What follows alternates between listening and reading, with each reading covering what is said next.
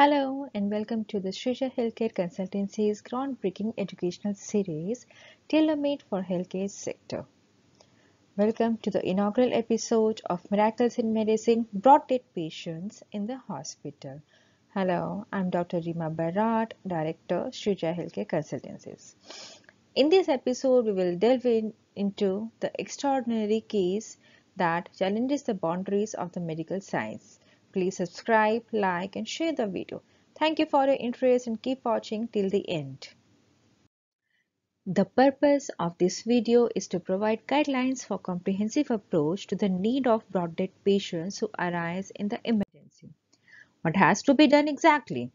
Registration should be done in case of the brought dead.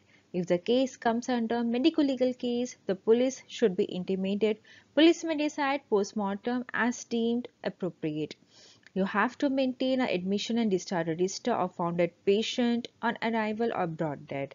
If the event is less than 10 minutes old, as per the discretion of the emergency medical officer, resuscitation as per ACLS protocol is to be done for 30 minutes.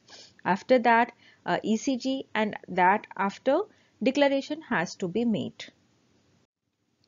There is a brought dead certificate uh, which I have attached in end of my slide for your reference. You can either take the screenshot or you can save the video either way. So you have to write the basic details like patient name, age, sex and with two identification marks which is mandatory.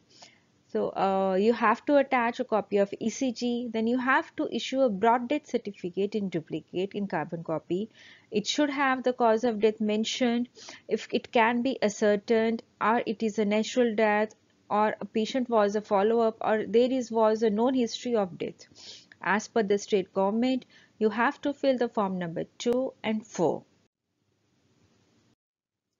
where the emergency medical officer feels that an offense was committed which led to the death for example uh, it, it's a road traffic accident case suicidal broad death homicidal broad death the procedure of medical legal shall be followed after these all documentary formalities, the body should be packed with and properly labeled by the staff nurse on duty in the emergency department. The body should be kept in the mortuary and it should be in the presence of security supervisor. For handing over the body to the police, it should be done by the security supervisor only. And the signature of the security supervisor and the police officer receiving the body shall be taken on the central death register before handling over the dead body. So what to do in the cases where patient who dies after the arrival to the emergency. The process of registration and triaging remains the same as I mentioned earlier. Resuscitation as per ACLS protocol for 30 minutes it is mandatory and it should be recorded on the progress notes. MLC formalities, if any, it should be carried out. You should break, uh, break the bad news to the demise, family of the demise. Uh, death certificate is to be handed over as per policy of the hospital. The cause of death, as mentioned earlier, it should be uh, noted down if it is ascertained.